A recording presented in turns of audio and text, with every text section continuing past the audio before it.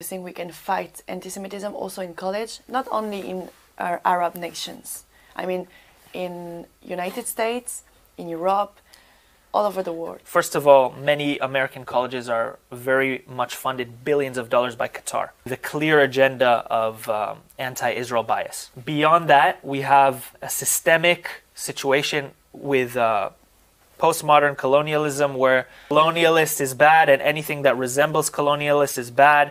And we have uh, Israel colonizers. They, they completely ignore and reject the, the fact that this is our homeland and we're indigenous to this land unlike America, where they live and enjoy civil liberties, which is actually occupied by them and actually was originally Native American land.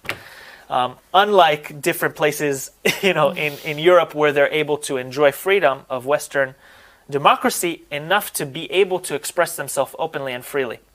That's something that they forget. Um, when you see college campuses supporting uh, people like recently the trend with the letter to America, Osama bin Laden.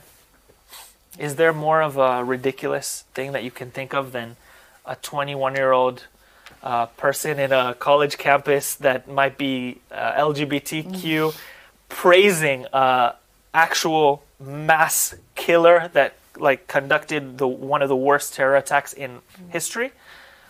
It's ludicrous. It's it's insane. So the way to combat that is education.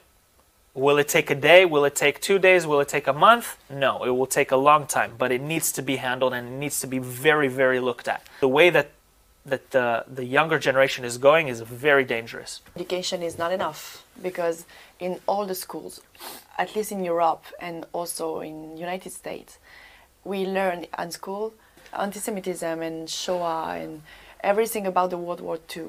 A lot of people forget history very quickly, and history has a tendency to repeat itself. The only thing we can do at this point is keep fighting for the truth and keep showing people that hatred is not the way.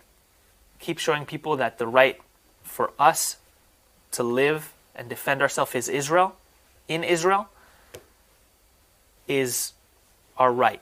And that's something that's never going to change.